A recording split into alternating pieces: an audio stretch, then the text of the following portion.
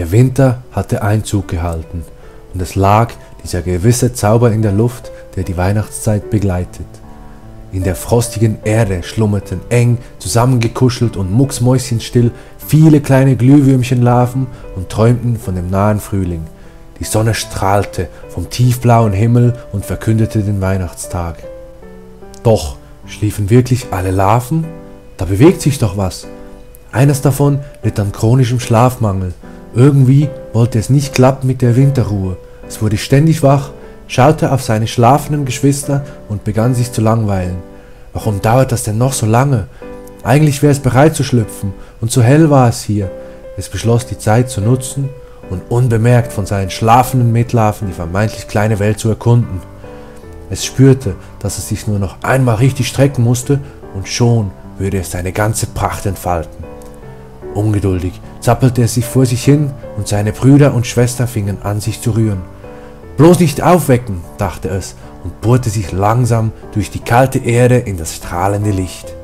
Als es mit seinem kleinen Köpfchen durch die harte Masse stieß, fühlte es plötzlich ein kaltes, ungewohntes Nass. Es schaut in die Sonne und ließ sich sein Köpfchen wärmen. Es nahm einen tiefen Atemzug ungewohnt frischer Luft und krabbelte vorsichtig durch den Schnee. Doch es war eindeutig zu kalt. Das stand fest, Sonne hin oder her. Es besann sich umzukehren um sich an seinen Artgenossen zu wärmen, aber trotz der Kälte hatte der Schnee im Sonnenlicht eine magische Anziehungskraft. Alles sah so frisch und glänzend aus.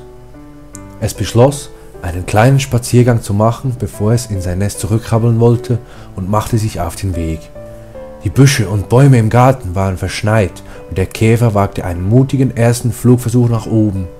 Hoho, das funktioniert aber noch nicht. Nochmal, los geht's, dachte es, und plötzlich klappte es seine kleinen Flügel aus und erhob sich federleicht in den Himmel.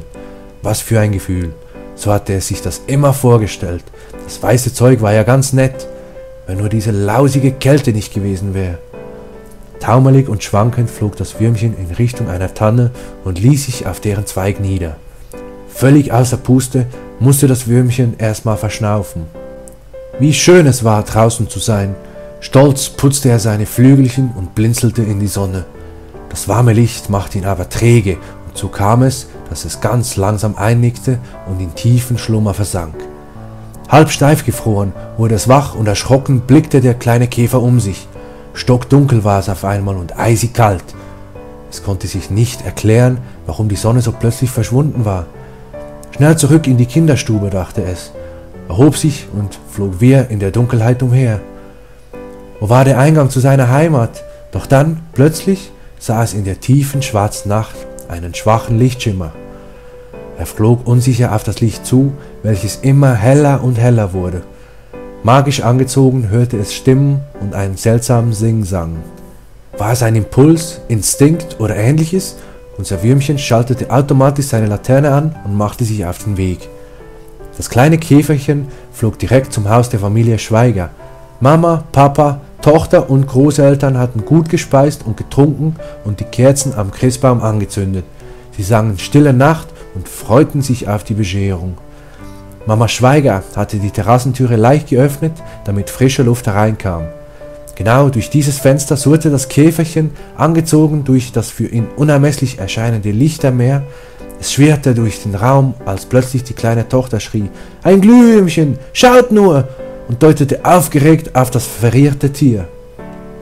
Das gibt's doch nicht im Winter, ja sowas, staunte die Mama, und alle starrten auf den kleinen Käfer, der magisch vom Christbaum angezogen auf ihn zuflog. Schnell, mach die Kerzen aus, sonst fliegt es noch in die Flammen. Papas Stimme überschlug sich. Die Familie stürzte auf den Baum zu und losch die flackernden Kerzen. Wir wünschen uns jetzt alle Gesundheit und Frieden. Das ist ein besonderes Zeichen heute am heiligen Abend, sagte die Mama gerührt und alle nickten ergriffen. Das Glühwürmchen sah nur wieder Dunkelheit und flog völlig verwirrt im heimeligen Wohnzimmer herum. Wo war es nur? Es war doch alles so hell und jetzt leuchtet nur noch mein Hintern, dachte es. Es glaubte zu träumen. Wir machen das Terrassenlicht an, dann findet es hoffentlich wieder raus, meinte die Oma und lief zum Lichtschalter in den Flur. Opa hingegen, der kein Verächter eines guten Schluckes war und bereits ordentlich Alkohol intus hatte, starrte auf das kleine Irrlicht. Schaut nur ein Glühweinchen, nuschelte er und zeigte mit dem Finger auf das Licht. Alle lachten den beschwipsten Opa aus und sahen erleichtert, dass sich das Glühwürmchen Richtung Fenster und nach draußen begab. Pass auf dich auf, kleines Glühwürmchen, und danke, rief die Tochter und winkte ihm in der Dunkelheit hinterher. Unser Glühwürmchen flog erleichtert in die frische Luft, und weil die kleine Laterne in seinem Hintern hell genug leuchtete, sah er auch wieder die Stelle, wo er aus der Erde gekrochen kam. Jetzt aber schnell nach Hause. So ein Tumult ist eindeutig zu viel, dachte es, und wurde schlagartig müde, aber so richtig müde. Und schwupps landete es am Eingang seiner Behausung. Eilig krabbelte es mit seinem Beinchen in die Erde hinein und schlüpfte zu seinen Geschwistern. Es schmiegte sich mitten in die schlafende Menge und schloss erleichtert die Augen. War das aufregend, dachte es. Ich habe so viel gesehen und gleich ein Abenteuer erlebt. Mein Hintern leuchtet in der Dunkelheit, sowas aber auch. Da kann ich aber was erzählen, wenn die anderen aufwachen, freut es sich. Oder hat es doch nur alles getäumt?